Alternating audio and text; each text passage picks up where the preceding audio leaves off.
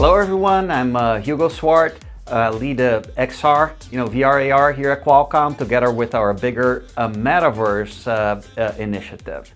So today we have uh, one more great episode of exploring the Metaverse and um, I have here with me Steve Lukas. he's on the team you know, one of the people that really started um, Snapdragon Spaces together with Brian, who hopefully you saw our previous episodes. So, Steve, um, welcome uh, to this episode. Why don't you introduce yourself? Yeah, thank, thanks for having me so much. Uh, so, I'm Steve. I lead the developer experience team for Snapdragon Spaces, and that covers developer support, evangelism, documentation, up to including everything to help make sure that the developer journey is world class, uh, sometimes even uh, helping evolve the product itself. Okay, uh, Steve, just so everyone is reminded, what is Snapdragon Spaces?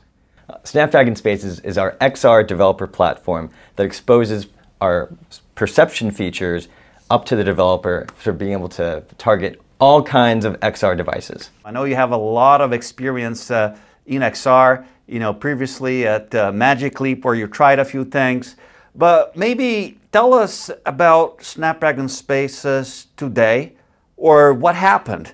You know, the interaction you had with the developers so far. A lot of fun with them? Oh my gosh, it's, uh, it's, it's the best part of my job. Right? Is working with developers, getting their feedback, and really uh, enabling developers to do things that they've never been able to do before. That, that's, right. that, that's, what, that's what brought me back here, and it's been, it's been an amazing ride. So give us a few examples of developers already using Snapdragon Spaces. What's the feedback? What's, uh, what's, what are they doing with it? Uh, well, we went around the world. We, yeah. we, went, we went to uh, uh, Hubraum over in Germany, and then we went to T-Mobile in Seattle. We, we did Ultra Hack uh, in Finland, and then MIT Hack most recently. Um, and, and across those, then what we're seeing is is a lot of variety in what the developers are building. We've mm-hmm. seen things in the present with Trace 3D, with Beam. Uh, we've seen games from OX Games, DB Creations. Uh, we've seen uh, enterprise visualization with Mixed World, and we're seeing uh, just just so many uh, different exciting things. So um, as we start to get a little deeper into what we're doing and what's ahead, um, what are the type of developers? You know, what kind of companies are building for XR today? That's a great question. Um, as, as we started Snapdragon Spaces, you know, we, we went through a gradual rollout process where, where we started with AR, as uh, with, with AR head-worn glasses, uh, connected with a companion phone controller. Right. And, and when we started that way, then we're, we, we really wanted to ease folks in and say, you know, AR developers, you already have an AR app, try to bring it over. If you're, right. if you're doing VR, bring that over to start experimenting with knocking out the background and working inside the real world. Yeah. You know, and then we layered in our perception technologies and we, we started opening up to VR and MR to start blurring those lines. Right. Uh, so what we really want to do though is start tapping into mobile more. Okay, that's where I want to go deeper. Yes. So um, how do we expand the reach. You know, you talk about, you know, VR developers, AR developers, you know, these are still limited compared with the broad range of developers we have in PCs, in, in, in, in mobile. What needs to happen to bring that type of developer into XR? Well, mobile, mobile is the heart of what we do. That's right. And, and mobile is always this, this big ground where everyone knows how to use a mobile device. Mm -hmm. So we've seen some toe dipping with, with, with uh, mobile AR, yeah. right? Being able to take your smartphone and hold it up.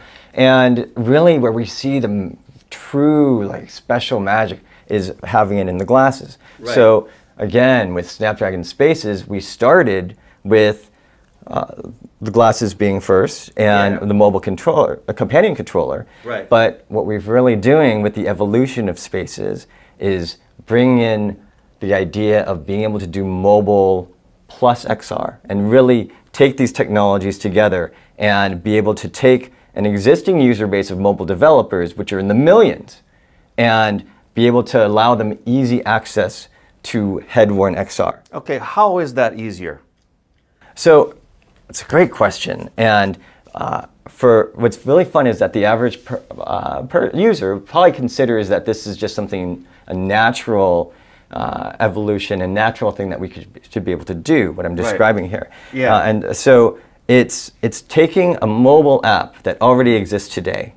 So a game or something Game, on the phone. map, right, right, Yeah. and being able to plug in glasses and then do more and expand that application out into the the infinite world around you. So is it something like uh, bringing special effect animations around the phone, around the main experience? Is that an example? That's a great example because Mm-hmm. what, what I like about that example is that for a, a developer who's going from a single screen to multi-screen, and we've seen that before with Yeah. some of the old handheld gaming devices. That's right. Right? Then it's really a very, very easy progression for them because they can understand if I just want to start small, Yeah. you know, and don't want to go into full perception yet, but just fit, start to acclimate into XR, then Yeah. First let's just enhance what we have. Yeah. And you know, add and move maybe some of the sub-menu items, like a, like a game map, move that into the XR, and keep everything into the. Yeah, I really love that that idea because if you want to do a full-on AR or VR experience, is a big commitment. It's a big you know investment that a developer can make, and then this idea um, of uh, just supplementing or starting what you have, which is your mobile app, and then putting things around it. It's a low barrier, I would think, for these developers to start experimenting with the AR glasses. Right, exactly. It's, you, it, the, some of these things we've seen are taking a mobile project, mm-hmm. adding in Snapdragon Spaces, Yeah. throwing in another camera with no code, Right. and instantly turning that into an AR app.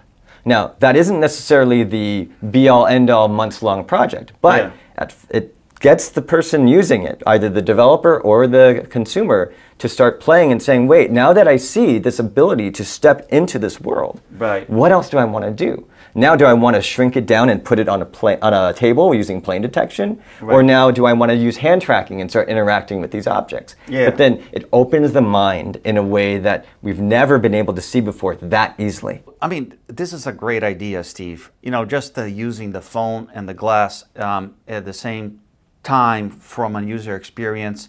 How did that idea come? Was it, you know, you on a hallway on a, you know, bright day said, "Oh, this is what we need to do"?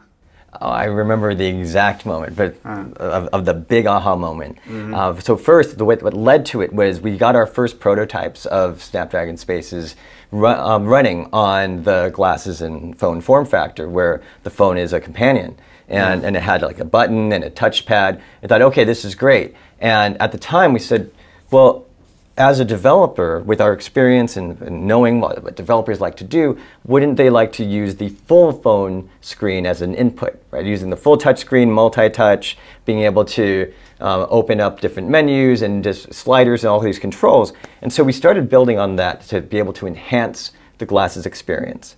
And, and remember, clear as day, we were in a meeting talking about how do we grow, that, start off this ecosystem from Right. nothing. What do we build? Yeah. Who, who do we go to?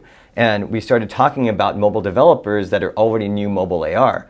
And we're sitting there looking and saying, well, wait, if they take this mobile AR and move the AR part of it into the glasses, but keep all of their same user input, then then if they don't have mobile AR and just mobile, they could do the same thing. We could actually go after not just thousands of XR developers, but millions of Android developers around the world. This could really be the on ramp to bringing in everyone and moving the entire e- mobile ecosystem into XR. No, that's that's great, Steve. It's amazing how you know the realization of um, you know a problem that you had as a developer, you know, and uh, making that idea now come to uh, fruition, come to life, enabling developers today. That's really amazing. Thank you.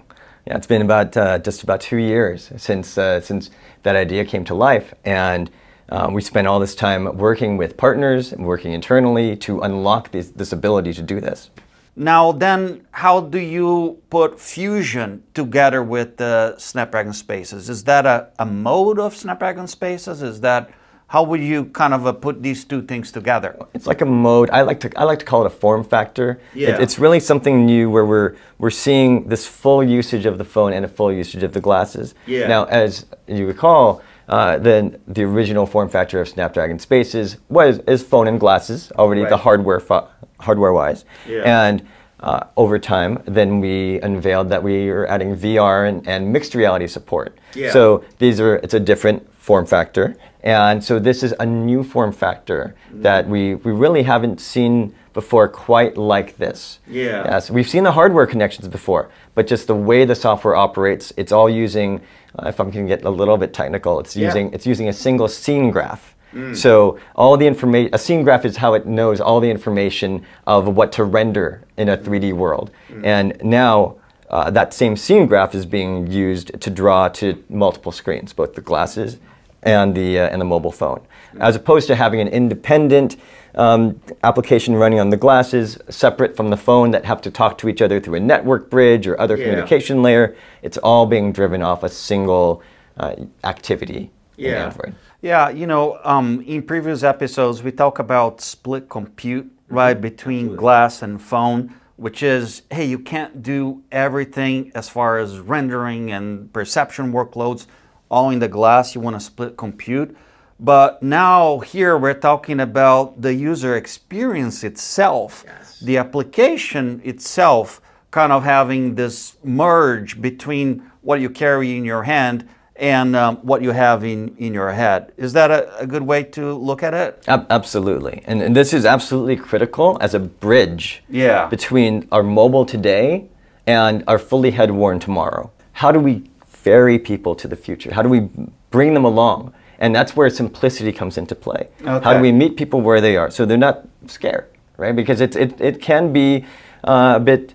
Um, a bit new to a lot Yeah. of people. And so, uh, and some people adapt well to new, right? They love things that are new, but there's a lot of people who really want to stay familiar. And, and so, what we're doing is we're providing that comfort of, I know how to use this phone, but now let me slowly introduce you to all these new concepts to prepare you and widen the funnel so that now more of us can enjoy the head-worn future. Very cool. Now, I'm a mobile developer. I have a Unity app. I want to start experimenting with XR, the new cool thing.